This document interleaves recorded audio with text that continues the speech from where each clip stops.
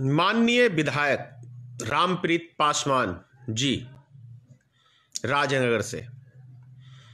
आपने तिरंगा यात्रा निकाला। बहुत खुशी की बात है, तिरंगा यात्रा निकालनी चाहिए। देश के, अब कौन सा संकट इस देश के ऊपर खड़ा हो गया है छह साल में, ये तो भाजपाइयों को ही पता होगा। कल जो आपने भाषा का मर्यादा लांघा है कि जो जय श्री राम कहेगा, वही इस देश में रहेगा। तेरे बाप की जागीर है क्या ये देश? ये क्या है ये?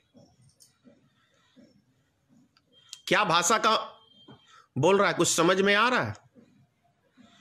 मैं हिंदू हूँ। मैंने दस कट्ठा के अंदर दुर्गा भवन बनाया है। अट्ठारह मूर्तियाँ लगवाई है, लेकिन हमने आज तक कभी राजनीतिक रोटी सेकने के लिए मंदिर का इस्तेमाल नहीं किया है, क्योंकि नेता के अंदर अपनी काबिलियत होनी चाहिए। हराम खोरो तुम्हारे अंदर क्या काबिलियत है?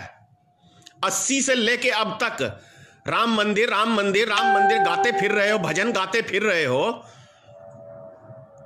क्यों नहीं अध्यादेश लाके राम मंदिर बनाने की पास किया पार्लियामेंट के अंदर। तुम्हारा डिसीज़न नहीं है ये। सुप्रीम कोर्ट का डिसीज़न है। और जिस व्यक्ति को डराने की कोशिश कर रहे हो, तुम्हारे फरिश्ते के फरिश्ते भी, इस देश से एक भी मुसलमान और एक भी दलित समाज के लोगों को किसी को निकाल नहीं सकते हो। इस बात को कान खोल के सुन लो। ये हिंदू मुसलमान की दाल रोटी सेकना बंद करो। और एक चीज़ और कह रहा हूँ आज मैं, राजनगर से विधायक हो ना तो भारतीय मित्र पार्टी तुम्हारे खिलाफ राजनगर से कैंडिडेट देगा। तुम लड़ लेना जय श्री राम के नारे पे चुनाव, और हम लड़ेंगे विकास के नाम पे, समाज में एकता के नाम पे। तुम लड़ लेना एनआरसी के नाम पे। और मैं तो कहता हूँ, खुले चैलेंज कर रहा हूँ। तुम्हारे गुरु अमित शाह को और मोदी जी को कि बिहार का चुनाव एनआरसी के मुद्दे पे लड़ लो। समझ में आ जाएगा। जिस जाति से पासमान हो ना, एनआरसी के मुद्दे पे जरा पासमान से ही मत मांग के देख लेना। कितने मत तुम्हें मिलेंगे। तुम लोग से चरित्र सीखने की देश में किसी को ज़रूरत नहीं है। किस करेक्टर के हो रामप्रीत? पासवान, बढ़िया से जानता हूँ मैं। और तुम्हारी पार्टी में किस किस करेक्टर के भरी हुई हैं, दूसरे के घर वाले को अपना घर वाला बना के उनसे करेक्टर सर्टिफिकेट लेने की देशवासियों को ज़रूरत नहीं है। और जो व्यक्ति मोदी जी महिलाओं की बात करते हैं हित की, वो तो खुद अपनी घरवाली को छोड़ के भागा हुआ व्यक्ति है, वो क्या दूसरे को इंसाफ देगा? बलात्कारी तुम्हारी पार्टी में, भ्रष्टाचारी तुम्हारे पार्टी में, दंगे तुम कराओ, फसाद तुम कराओ, देशद्रोही के देश तोड़ने वाली राजनीतिक तुम करो, और ठीकरा मरो विपक्ष के ऊपर। याद कर लो भाषण। त्रिपुरा की जनसभा में अमित शाह जी का भाषण याद है? कि हिंदुस्तान में जितने दंगे भड़केंगे, उतना कमल खिलेगा। तो दंगे भड़काने वाले भाषण तुम देते हो। अभी साहिन बात का देखा ना मैटर? कि हमारा ये प्रयोग है, हिंदू मुसलमान को लड़वाएँगे और प्रयोगशाला में अपने वोट बैंक की राजनीति करेंगे तो कितनी घटिया सोच में और कितनी घटिया पार्टी के सदस्य हो तुम। क्या हिंदुस्तान में एक भी भाजपा के नेता को खुली चुनौती दे रहा हूँ? करेगा मेरे से डिस्कशन एनआरसी पे। खुले मंच पे खुली चुनौती दे रहा हूँ। देश की जनता को मूर्ख बनाए हुए हो। हिंदू की बात करते हो। उन्नीस लाख छह हज़ार छह सौ छियासठ तिरपन आदमियों की नागरिकता आसाम में समाप्त कर दी। हिंदू हिंदू का ढोल पीटते हो और पंद्रह लाख से ज़्यादा हिंदुओं की नागरिकता समाप्त कर दी। शर्म नहीं आता है? और वो हिंदू है कौन?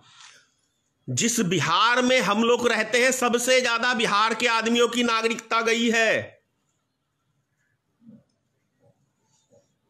एनआरसी एनआरसी एनआरसी, पूरे देश को गुमराह करके बैठे हुए हो। नागरिकता संशोधन कानून, नागरिकता देने का तुमने कानून बनाया कि ये पहले से कानून देश के अंदर लागू है? 1955 से। कौन सा ऐसा तीर मार दिया है? विकास दर सारी चौपट कर दी। पाँच लाख पैंसठ हज़ार कंपनियों की मान्यता रद्द करके छह करोड़ आदमियों को बेरोजगार बना दिया। एलआईसी को बेच के खा गए। सभी चीज़ तो बेच के खा गए। और तिरंगा यात्रा क्या है तिरंगा यात्रा? तुमसे देशभक्ति सीखेगा क्या इस देश का नागरिक?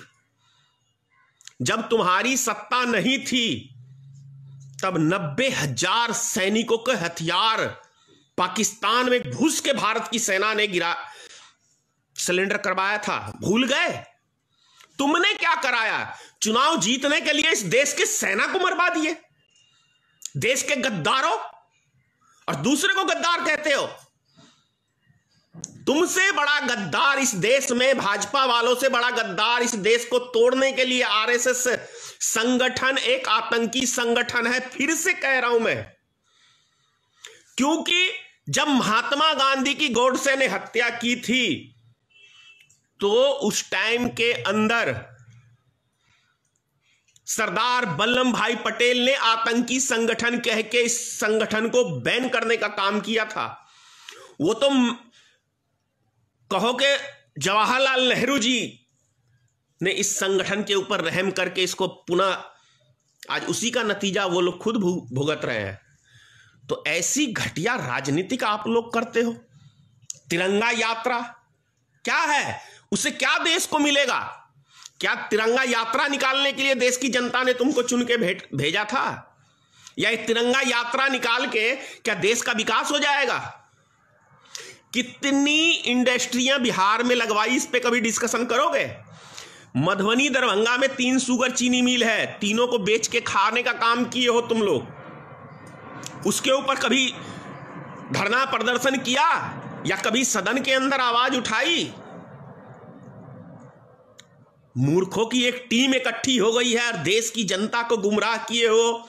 एक नफरत भरी राजनीति करते हो।